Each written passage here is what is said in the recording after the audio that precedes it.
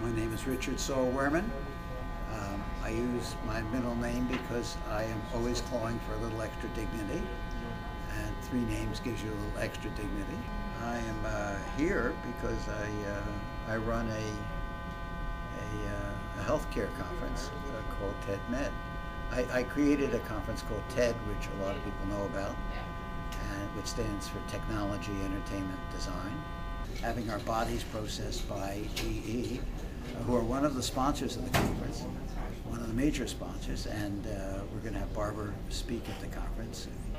And this is not by doing this and showing this at the conference, is not saying this is what everybody should do. Uh, but at least by doing it, this is what you can show. This is what you go through to show it, to, to find it out. Um, this is how non-invasive it is. Uh, these are the problems. This is the success of what maybe you can spot in a uh, in a way to to ward off future worse things happening. You know, show in the beginning of things. What can you do it as preventative?